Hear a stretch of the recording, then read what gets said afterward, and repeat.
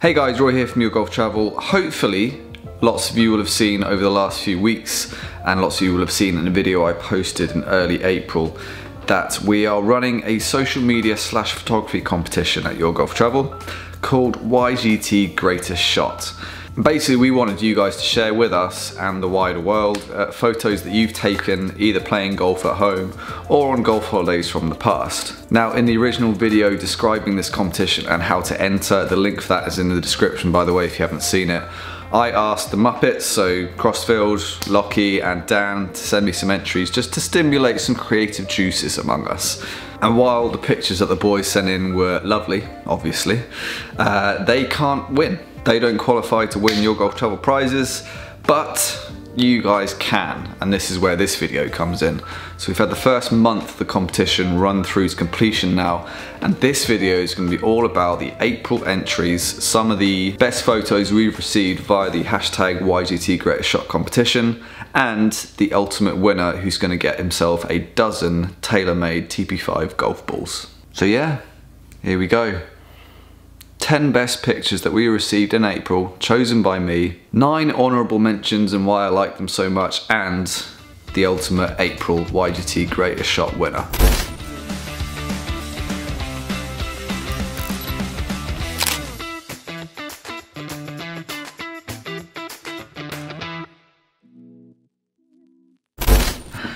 Right guys, so first up we've got this entry from Tim Southen, uh, who went up to the Open Championship at Carnoustie last year with his brother. Uh, played Silloth on Solway en route, um, and I just love the fact that he's combined attending a world-class event like the Open with playing some pretty decent golf as well at an amazing golf course. I don't know about you guys, but whenever I attend a live golf event, I'm just absolutely itching to play golf about five minutes after I'm through the gate. So combining watching Molinari win the Claret Jug oh Frankie, you should have let Tiger win it, bro. um, with a world-class links golf course is just, well, what's not to like. Um, good to see you making memories with your brother there, Tim, so keep it up, bro. Second honourable mention has to go to our friend uh, Ed Kemp. Um, when I saw this picture flash up, uh, when I was searching the YGT Greatest Shot hashtag, uh, it just made me smile. Um, it was a great day when myself and Mark Crossfield went to surprise him there's Rory behind there with Ed. look, he's going to be at the shot. Please hit the planet, Rory. Oh, we're not going to see him. Please hit the planet in front of Ed, Ray, please. Just giggling.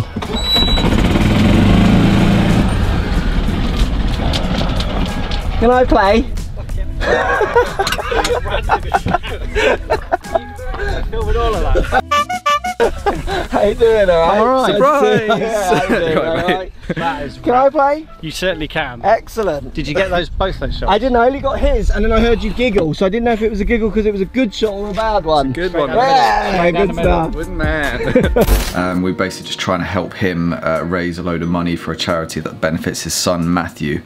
Um, Ed has been an absolute trooper ever since we met him as far as I can tell obviously and I follow him on Twitter etc etc and the guy's absolutely relentless just trying to raise as much money as possible for that charity to aid his son Matthew. And I'm pretty sure ever since Mark's video went out on his channel the link is in the description below if you haven't seen that already. I'm sure you guys probably have.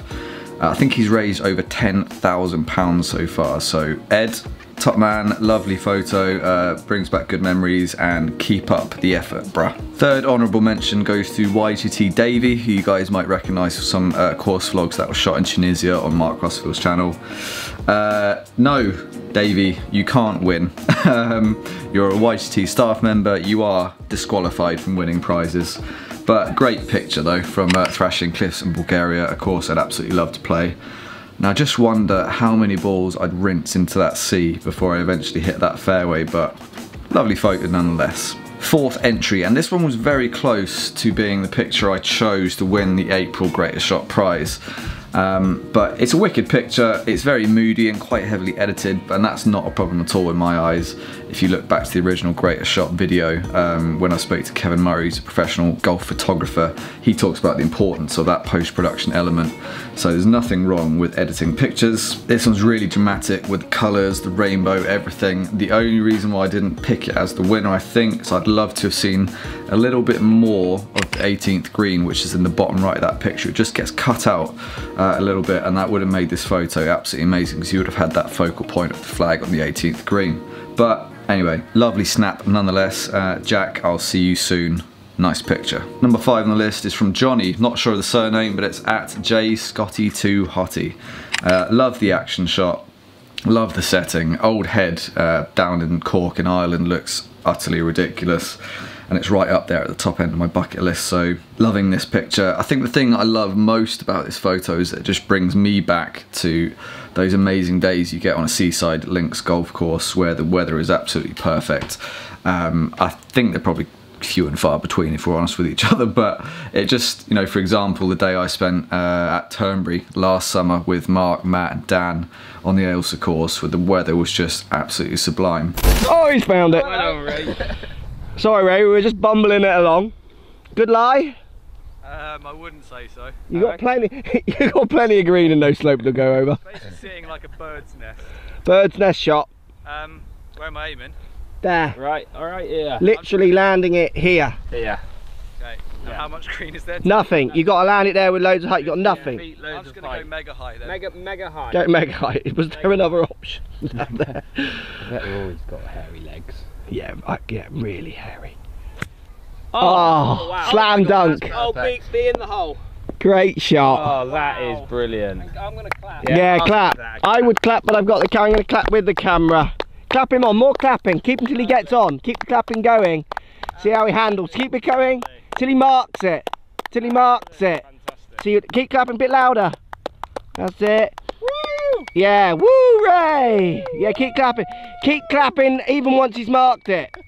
yeah, I like that. He handled the awkward clapping well.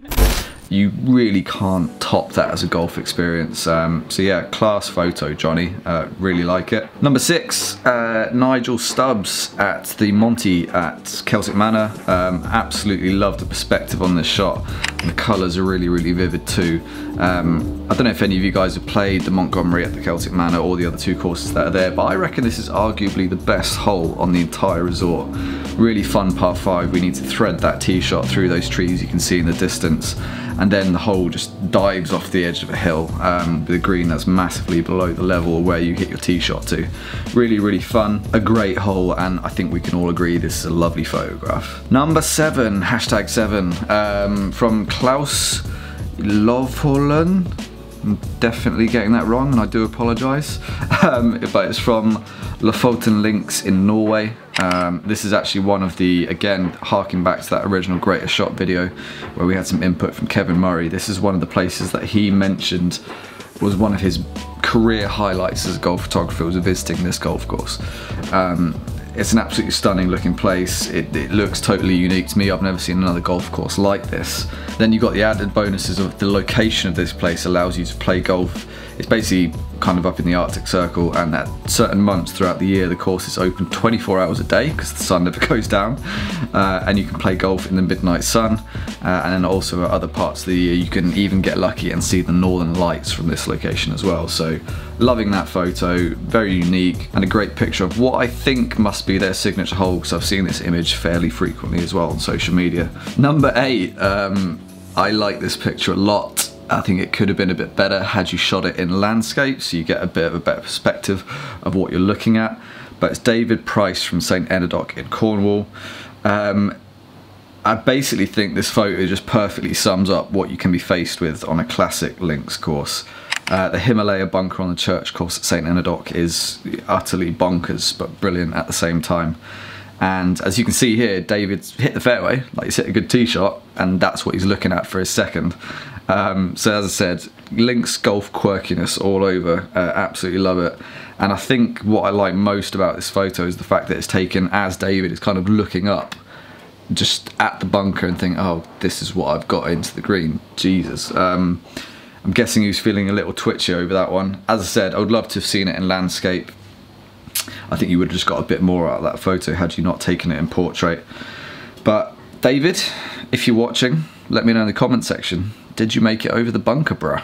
And just before we get to the winner of the April Greatest Shot, um, I, lo I love this picture from Andrew Johnson. It doesn't say which course it was taken at, um, but I love the mood captured in this photo.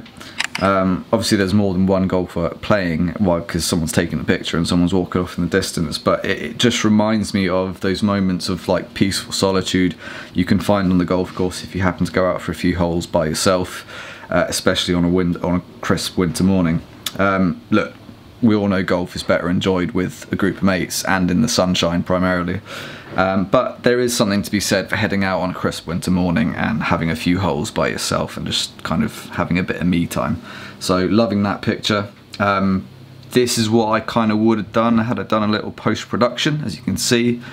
Little tiny tweaks kind of make a picture look a bit more dramatic, but post-production isn't for everyone, and it's a lovely picture in its raw form. Anyway, so time for the winner of the April segment of YGT Greatest Shot and this one is from Dan Jackson from the Isle of Purbeck Golf Course in Bournemouth.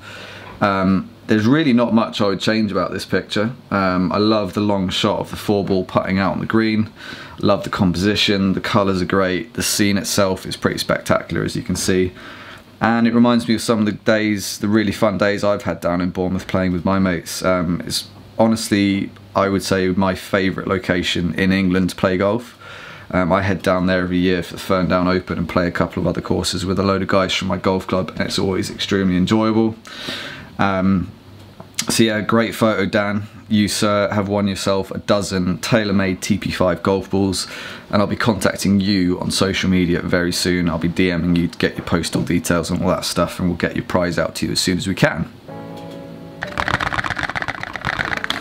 So there we have it guys, uh, Dan Jackson got a dozen of these bad boys on the way right now. Um, that's the first month of the YGT Greatest Shot competition done. Congratulations Dan Jackson. Um, if you'd like the chance to win some more prizes such as these TaylorMade TP5 golf balls, make sure you get involved in the competition. Uh, you can either tweet or Instagram us some pictures that you've taken on the golf course in the past or on golf holidays that you might have coming up in the next few weeks. Uh, just make sure to tag your golf travel, whack in the old YGT Greatest Shot hashtag and you're good to go. That will be your entry. And if you haven't got those two social media platforms, you can always email us at greatestshot at yourgolftravel.com. So lots of ways to enter and as I said you could bag a monthly prize. We're running this competition throughout the rest of the year and if you saw the original Greatest Shot video you will know. We also have a grand prize which will be awarded at the end of the year which is going to be that little bit more special than just a dozen golf balls. So you definitely want to be getting involved for that so yeah send in your pictures get involved um, hopefully I'll be seeing your lovely photographic creations on social media or via email very soon and we'll see you next month well I'll probably see you a lot sooner than that with some other videos but we'll see you next month for the next installment of Greatest Shot. Thanks for watching.